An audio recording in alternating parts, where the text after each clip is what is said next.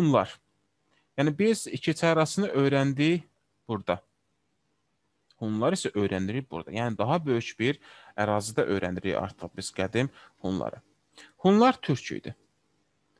Mərkəzi Asiyada yaranmış ilk türk dövləti idi Böyük Hun dövləti. Və ə, bütün türklərin əcdadıdır Hunlar əslində.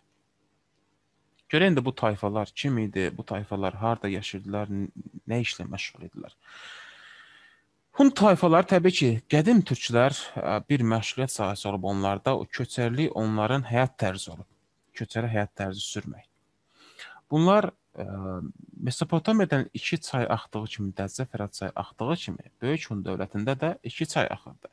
Orxan və Selenqa çayları axırdı burada. Və bunlar ə, köçəri həyat tərzi olduğuna görə Hunlar əkinçi ilə məşğul ola bilmirdilər. Yəni əkinçilik nədir? Bir sahəni əkdinsə, məcbursan ki, oturub həmin ə, əkinin yetişməsini gözləyəsən.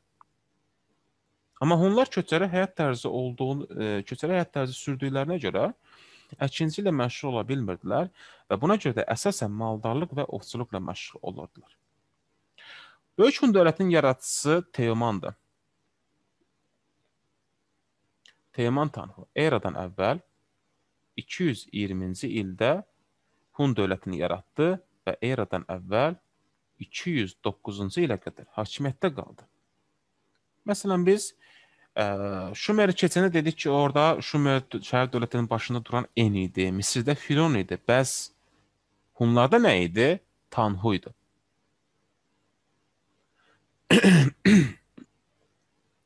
Tanhu. Teoman Tanhu, Mehdi Tanhu, Çiçi Tanhu, yəni bu Hun hökmdarlarının hər birinin sonluğuna Tanhu sözü əlavə edilir. Teymur Tanhun dövründə, yəni bu 11 illik hakimiyyəti dövründə 220-dən 209-a qədər nə baş verdi? Birincisi e, böyük Hunların qonşusuna baxaq, Çinlilər. Yəni bu e, bir-birinə qarşı çox da dinc münasibətdə deyildilər. Çəkişməli bir dövlətlər idi bunlar və hətta vəziyyət o yerə çatır ki, Teymur Tanhunun aramsız hücumları baş verir və aramsız hücumlar baş verdiyinə görə Çin artıq gördüyümüz burada böyük Çin səddini inşa edir ki, Hunların Çinə olan hücumunun qarşısını alsın, qarşısını kəssin. Çin səddinin inşasına başlanması eradan əvvəl 214-cü ildir. Teymur Tanhu hakimiyyətə gələn zaman birinci iş qüvvətli ordu yaradır. Yəni sən kimləsə müharibə aparırsansa, təbii ki, orada əsas nədir? Ordudur. Sənin ordun olmasa müharibə apara bilməzsən. Ona görə qüvvətli ordu yaradır.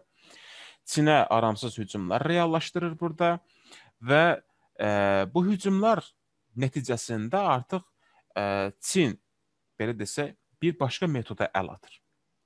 Nə edir Çin burada? Bütün məsələlərin ha hamısını istəyir ki, diplomatik yolla nizamlasın. Bu hansı diplomatik yol idi? Nicah diplomatiyası idi. Və hətta Teymur Tanhu da Çinli bir qızla evləndirilir və bu şəkildə artıq Çinlər yavaş-yavaş daxildən Hun siyasətinə bələd olmağa, Hunda siyasi bir çəkişmələr yaratmağa başlayacaqlar bu dövrdə. 209-cu ildə hakimiyyətə gəlir Teomanın oğlu Mete Tanhu gəlir. Meteni də burada qeyd edək. Mete Tanhu. Mete Tanhunun hakimiyyət illəri eradan əvvəl 209-dan eradan əvvəl 174-cü ilə qədər uzun müddət hakimiyyətdə olur. İndi Mete Tanhu nə edir? Mete Tanhu eyni ilə atası kimi güclü bir ordu yaradır, ə, hərbi islahat keçirir və atasından fərqli olaraq süvari əsasən diqqəti yönəldir süvari qoşuna. Süvari nədir? Atlı qoşunlardır. Güclü süvari bir ordu yaradır. Həmçinin tabe olmaq istəməyən pərakəndəlik aparan Tibetliləri və Monqolları öz itaəti altına almağı bacarır və atası kimi eyni ilə Çin üzərinə olan hücumlarını davam etdirir. Vəziyyət artıq o yerə gəlib çatır ki, hətta bunlar Çin səthində aşırlar və 200-cü ildə gəlirlər Pinçen şəhərinə. Xətəni tam e, təmizləyək. Pinçen şəhərində eradan əvvəl 200-cü ildə Bunlar Pinçe müqaviləsini imzalayırlar. Çinlilərlə Hunlar. Razılaşma nə idi burada? Razılaşma o oydu ki, ə, Çin imperatoru ə, qızıl, ipək, pambıq kimi məmulatları Hunlara göndərməli idi. Çinin şimalı, bu gördüyümüz şimal hissə keçirdi artıq Hunların tabeçiliyi altına. Bu şimalın önəmi nə idi? Şimalın önəmi o idi ki, bu ə, şimalın tutulması nəticəsində Hunlar Çinin bütün ticari əlaqələrini öz nəzarətləri altına aldı. Artıq bilirlər ki, Çin hansı ölkəyə nə aparır və apardıqları hər məhsuldan təbii ki, gömrük haqqı alırdılar. Bu oldu Mehdinin hakimiyyəti dövrü. Mehdidən sonra demək olar ki, Hunların qara günləri başladı. Eradan əvvəl 58-ci ildə bayaq ağa dedim Teoman Tanrı'nın dövründə artıq Çinlər nicah diplomatiyası vasitəsilə onlara təsir göstərməyə başlayırlar. 58-ci ildə taxtacın varisi iki şəxs olur. Bunu tam təmizləyək. Çiçi və Hoxənyə. Hoxənyə. Bu iki şəxs bölüşə bilmirlər hakimiyyəti. Amma rəsmi hakimiyyətə çıxır Hoxəniyyət çıxır. Çünki biri ə, bu həmin o ölən Hun hökmdarının iki həyat yoldaşı olur. Biri türkdür, biri çinlidir. Çinli olan qadından oğlu Hoxəniyyət olur, türk qızından olan oğlu Çiçi olur. Yəni biri türkdür, biri çinlidir. Hoxəniyyət çinlidir. Hoxəniyə çıxır hakimiyyətə, Çiçi fərq edir ki, artıq Hoxəniyə böyük Hun dövlətini Çinə birləşdirmək istəyir. Yəni Çinin hakimiyyətini qəbul et etmək istəyir. O zaman Çiçi nə edir? Çiçi deyir ki, sən ə, idarə etdiyin qərb böl şərq bölgəsini daha doğrusu. Nə edirsən elə? İstəyirsən Çinə birləşdir, istəyirsən özün idarə elə, mənə dəxli yoxdur. Mən böyük Hun dövlətinin şərq ə, daha doğrusu qərb hissəsində başçılıq ed edirəm. Şərqlə mənim işim yoxdur. Və nə baş verir eradan əvvəl 58-də? Hun imperiyası iki hissəyə bölünür artıq. Şərqi Hun və Qərbi Hun. 58-də bölündü bu. Eradan əvvəl 38 e, 36-ya gəldiyimiz zaman 36-cı ildə bu qərb Hunları ərazilərin biraz da genişləndirirlər. Bu genişləndirmə buradakı Çini narahat edir. Artıq Çin də biraz özünə gəlib, ə, e, öz qüdrətini bərpa edib artıq demək olar ki, və bu ə, e, Çinin xoşuna gəlmir. Yəni Qərbi Hunlar durub burada öz ərazilərini genişləndirirlər, xeyr ola.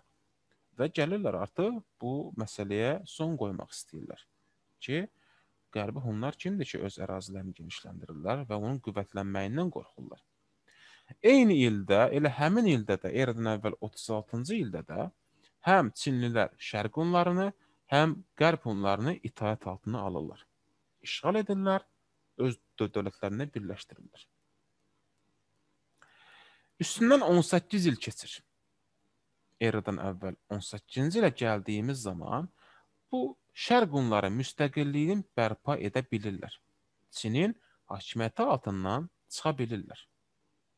Qərb Hunları isə hələ də Çinin hakimiyyəti altındadırlar. Qərb Hunları müstəqil ola bilmirlər artıq.